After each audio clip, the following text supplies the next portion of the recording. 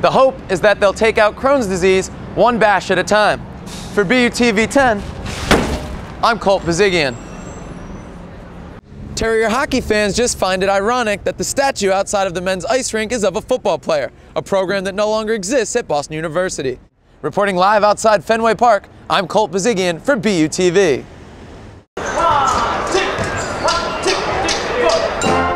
It's game night for the Boston University men's basketball team, but saying Tunde Agbola, a walk-on to the team, has been hard at work all week would be an understatement.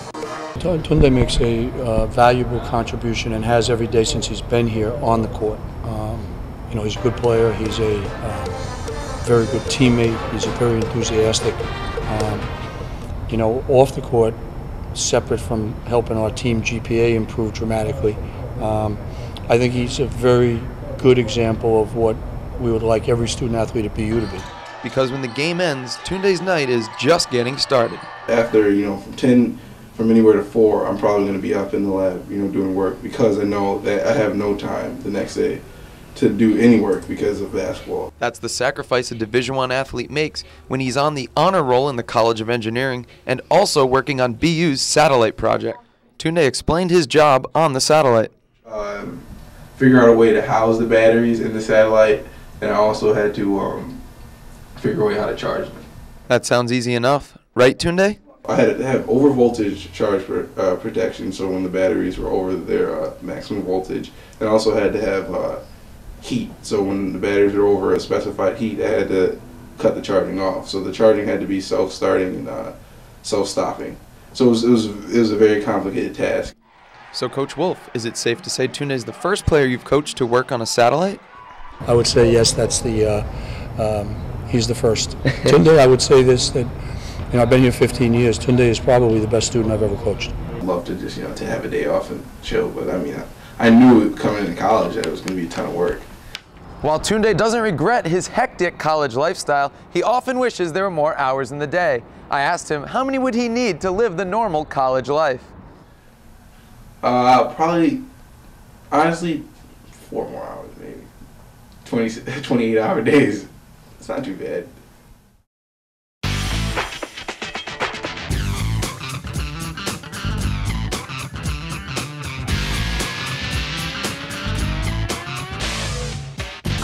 If teams would just take the initiative to go out and play the games and prove their point on the field, that'd be an issue. But I mean, Texas would argue they did prove their point. They beat Oklahoma, and now Oklahoma's playing in the Big 12 championship. What do you think?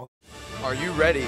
Because if it's sportuitive and full of ridiculous athleticism with hosts that are cometa beautiful, then it's time for illegal use of the headlines. Normally, we like to stick to more obscure stories that may not have reached the wires, but the latest Plaxico Burress incident was too good to pass up. As we all know, Burress fired a round into his thigh in a New York nightclub. Now, we didn't know it was illegal to shoot yourself, but in New York, it's illegal to do just about anything with a gun.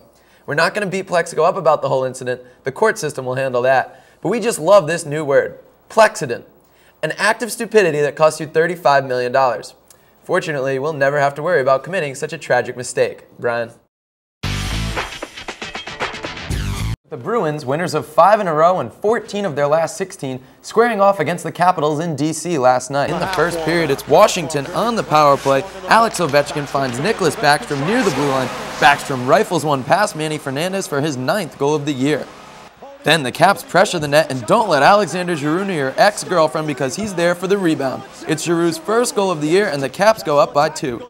And the Bees finally get on the board as Phil Kessel streaks in. Milan Lucic nothing but net and the lead is cut in half. But that's as far as the Bees would get because Brent Johnson was sterling in net. Here he robs Blake Wheeler on the breakaway. Take another look, flinging the paddle out for the stop, and Johnson just kept making ridiculous saves all night long. He had 33 saves in total, and the Caps go on to win this one 3-1. Waiting a month to sign a six-year, $140 million contract might seem a bit crazy. Unless, of course, you're CC Sabathia and the Yankees are the team offering you the money. Then you hold out and wait for more. And yesterday, the Yankees decided it was time to overwhelm the big hurler with an even bigger deal. Sabathia is expected to finally sign with the Bombers for seven years and $161 million. Yankee pinstripes may be slimming on the 300-pound pitcher, but the fat contract will make him the highest-paid pitcher in baseball history. And when the Yankees punch, the baseball world holds their collective breath waiting for a Red Sox counter.